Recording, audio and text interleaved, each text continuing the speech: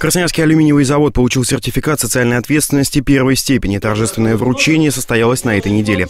Пенсионный фонд России подтвердил, предприятие в полном объеме выполняет все свои обязательства перед бывшими работниками и оказывает им всестороннюю поддержку. Кроме того, завод реализует целый ряд программ для сотрудников и их детей. В этом году КРАС планирует даже начать строительство детского сада.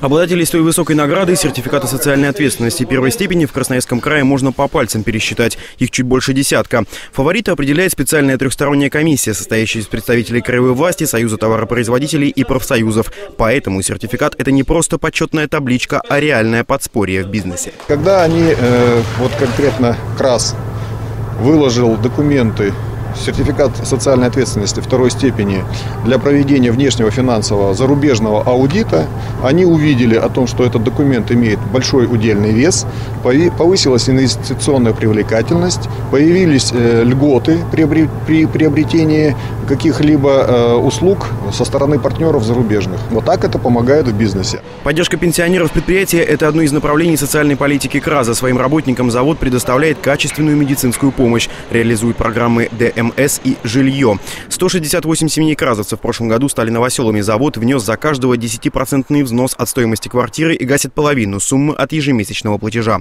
Дети металлургов летом отдыхают в корпоративном лагере, а в этом году завод открывает строительство детского сада. Нам удалось Э, достичь договоренности с администрацией края Красноярского и города Красноярска по месту строительства садика. А, мы исходили из того факта, э, где максимальная локализация наших работников сейчас, да, то есть это район Взлетки, Северный, а, выбрали шестой микрорайон, а, там планируется строительство детского садика на 275 мест.